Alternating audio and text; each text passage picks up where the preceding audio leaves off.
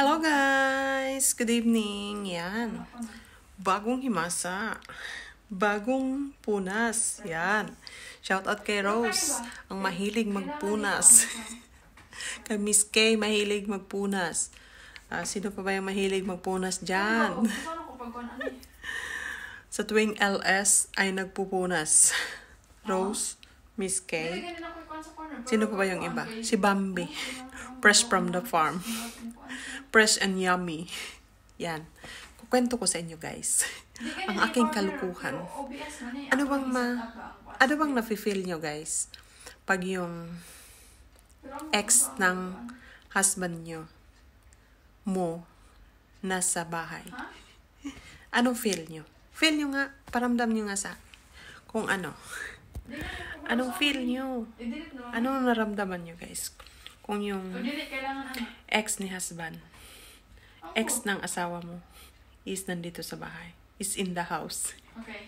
Is in the house. Pakita ko sa inyo guys. Tapos, Para may katibayan.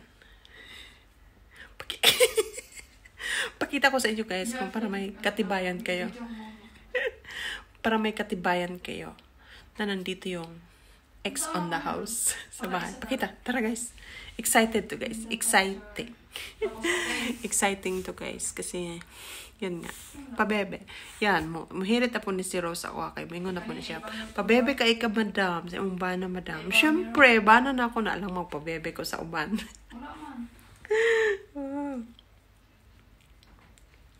Samahan niyo ako guys ha. Samahan niyo ako. Puntahan natin at titignan natin kung saan si ha.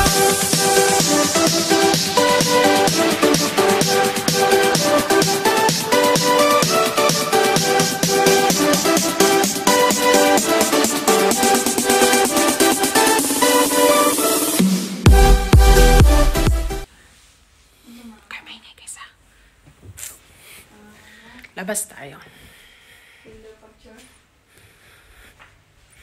Nandito si ex guys. Ang sa din, ang ko lang din. Okay. Window. I-add access na na.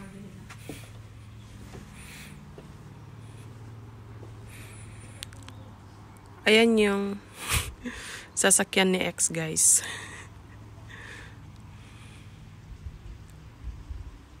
Ayan. Sasakyan ni ex on the house. Ay, kanin. Live stream, may pa live stream. Ay, na Ayan.